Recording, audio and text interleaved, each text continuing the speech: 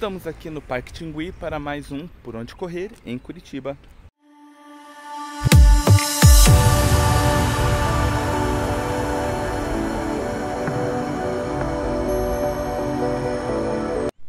Fala runners, bem-vindos mais uma vez ao nosso canal. Eu sou Remy. Hoje a gente vai para mais um quadro por onde correr em Curitiba. A gente está aqui no Parque Tingui, um dos parques mais famosos e conhecidos da cidade. O parque aqui ele fica situado no bairro São João. Ele foi inaugurado em 1994.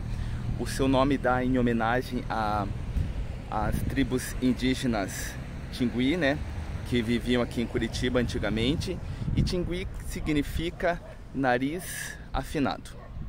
O parque aqui ele é muito frequentado, ele é um dos mais visitados, ele é um dos principais pontos turísticos da cidade. Só que aqui a gente vai avaliar como que é ele, as condições para um corredor, né? Para fazer aquela prática da, da corrida. Aqui também para quem vier conferir ou quem já conhece, sabe que aqui tem ah, o memorial do ucraniano que a gente vai mostrar daqui a pouquinho, um pouquinho para vocês conhecerem. Tem também aqui a praça de comemoração aos 500 anos, que é essa que a gente está, que depois a gente vai mostrar mais fotos e vídeos para vocês estarem conhecendo. Então, sem mais delongas, vamos mostrar um pouquinho de fotos e vídeos aqui do parque para vocês conhecerem, para quem já conhece faz tempo que não vem relembrar. E depois a gente vai mostrar aquele percurso do caminho principal aqui para a prática da corrida e vai fazer aquela avaliação. Então vamos lá, mas antes, não se esquece de se inscrever no nosso canal.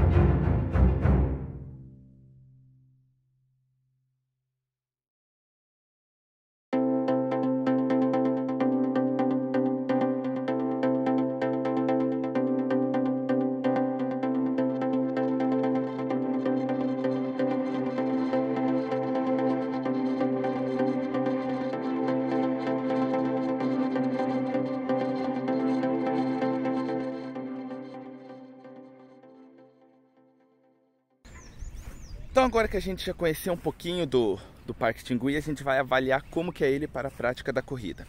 Então a gente vai avaliar, são seis quesitos e depois a gente vai fazer uma média. São, a gente vai dar uma nota para cada um dos quesitos de 1 a 5, sendo 1 o pior cenário e 5 o melhor cenário possível. A gente vai começar pelo trajeto, pelo percurso. Aqui a gente vai dar uma nota de 5. Segundo as marcações do meu GPS aqui, marcou 4.850, pelas marcações no chão deu 4.750, 100 metros não é pelo tamanho total tanta diferença assim. É, não vou colocar a prova que é dizer que o meu GPS está certo, pode ser que ele esteja errado. É pouquinha diferença a gente considerou. É uma distância ok, ainda dá para fazer um treino um pouco mais longo aqui, não vai enjoar tanto. Se você fizer já umas 4 voltas e meia, 5 voltas, já vai bater perto de 20 quilômetros. Então a distância aqui é legal, o percurso também não tem nenhuma curva fechada que vai comprometer, que vai complicar. Então, nota 5, nota máxima nesse quesito.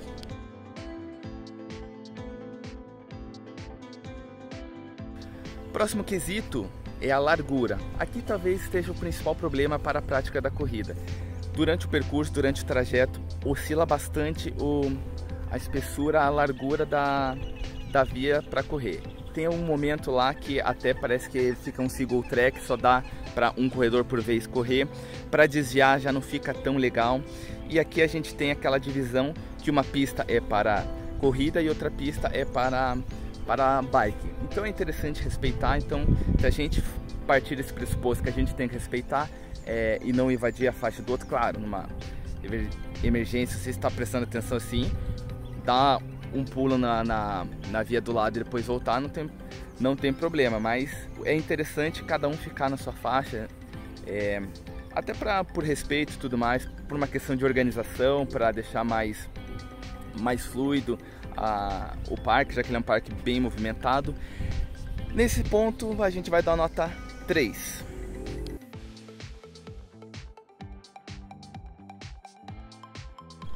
Condições da pista. Aqui a pista, de uma maneira geral, ela está num estado ótimo para correr. Não tem buracos na, na praticamente nada, um ou outro detalhezinho de uma leve erosão que a gente que vai não vai levar em consideração. Tem as pontes de madeira que é, às vezes elas não, não tá tão lisinhas, não estão tão simétricas as tábuas, mas aí a gente também tem que ter um pouquinho de bom senso. E você vê de longe, você sabe quando tá para vir uma ponte de madeira, então é, você tem que estar tá muito distraído para não perceber. Nesse ponto aqui a gente também vai dar uma nota 5.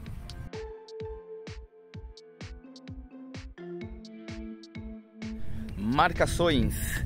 Como a gente comentou no outro quesito, aqui tem uma divisão bem clara, uma pista para corrida e uma pista para bike. Isso para a título de organização ajuda bastante deixa mais seguro também a, a, a, prática aqui das atividades físicas, tanto para os corredores quanto para os ciclistas. Mas quanto à marcação, né, que são as marcações que vão mostrar a metragem do, do percurso, que a gente sempre comenta nas avaliações dos outros parques, nesse ponto aqui ela está bem clara e ela aparece com bastante frequência. Nesse ponto aqui também a gente não tem outra nota a não ser dar a nota 5.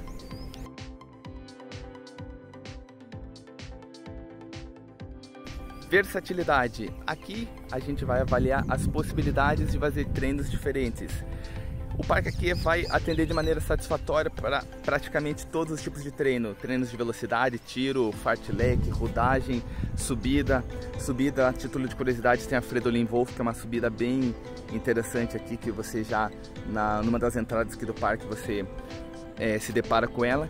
Então nessa parte de versatilidade que você não, não tem o que reclamar, não tem o que vai atrapalhar, o parque ele vai te atender muito bem em praticamente todos os tipos de treinos de corrida.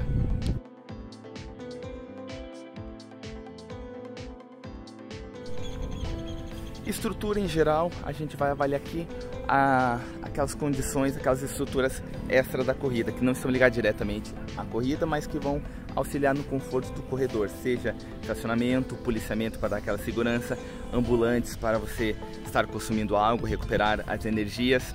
Então vamos lá. Banheiros e bebedouros aqui tem, então vai atender isso ajuda. Estacionamento, tem vários estacionamentos espalhados aqui, é, nesse ponto também é bom. Policiamento, tem bastante, bastante não, tem o suficiente, tem policiamento aqui. Então aqui nas, nessas estruturas em geral a gente vai dar nota de 5 também, porque o parque ele vai atender bem, de maneira muito satisfatória nesse sentido.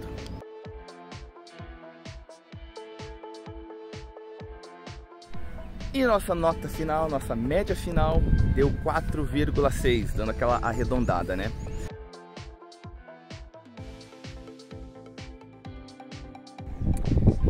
Esse é um dos melhores parques para a prática da corrida de Curitiba. É...